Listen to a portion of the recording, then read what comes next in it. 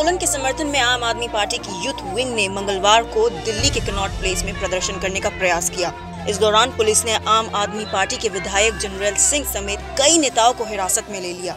आम आदमी पार्टी के ये नेता कनॉट प्लेस में अपना विरोध जताते हुए मानव श्रृंखला बनाना चाहते थे। आज दिल्ली के लोग, दिल्ली के नौजवान किसानों के हाथ आगे खड़े हुए ने खेती कानून केंद्र सरकार वालों बनाए गए ਉਹਦੇ ਵਿਰੋਧ ਵਿੱਚ ਤੇ ਕਿਸਾਨ ਕਿਸਾਨਾਂ ਦੇ ਸਮਰਥਨ ਵਿੱਚ ਦਿੱਲੀ ਵਾਲੇ ਪ੍ਰਧਾਨ ਮੰਤਰੀ ਨੂੰ ਅਪੀਲ ਕਰਨ ਵਾਸਤੇ ਦੇਸ਼ ਦੇ ਪ੍ਰਧਾਨ ਮੰਤਰੀ ਨੂੰ ਕਿ ਇਹ ਜਿਹੜੇ ਕਿਸਾਨਾਂ ਨੂੰ ਮਾਰਨ ਵਾਲੇ, ਕਿਸਾਨਾਂ ਦੀ ਜ਼ਮੀਨ ਖੋਣ ਵਾਲੇ ਕਾਨੂੰਨ ਤੁਸੀਂ ਪਾਸ ਕੀਤੇ, ਇਹਨਾਂ ਨੂੰ ਵਾਪਸ ਲਓ।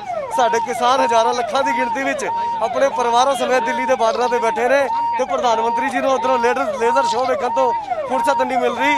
ਦੇਸ਼ ਦੇ ਗ੍ਰਹਿ ਮੰਤਰੀ 1200 ਕਿਲੋਮੀਟਰ ਦੂਰ ਹੈਦਰਾਬਾਦ ਜਾ ਕੇ ਚੋਣ ਪ੍ਰਚਾਰ ਕਰ ਸਕਦੇ ਨੇ, ਪਰ ਕਿਸਾਨਾਂ ਦੇ ਇਸ ਮਸਲੇ ਨੂੰ ਐਡਰੈਸ ਕਰਨ ਦੀ ਫੁਰਸਤ ਨਹੀਂ ਹੈਗੀ।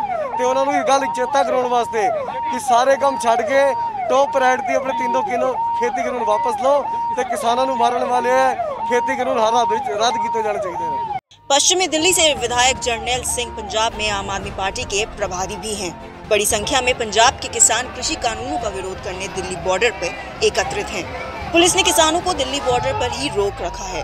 इस बीच जर्नैल सिंह मंगलवार को दोपहर अपने कुछ सहयोगियों के साथ कनॉट प्लेस में अपना विरोध जताते हुए मानव श्रृंखला बनाने पहुँचे। हालाँकि पुलिस ने तुरंत कार्रवाई करते हुए उन्हें हिरासत में ले लिया। आम आदमी पार्टी ने कहा, दिल्ली के कनॉट प्लेस में काले खेती कानूनों के खिलाफ विरोध करते हुए जर्नैल सिंह को दिल्ली पुलिस ने गैर कानूनी तरीके ऐसी हिरासत में ले लिया है। किसानों के सम्मान में आपकी यूथ विंग मैदान में उतरी है।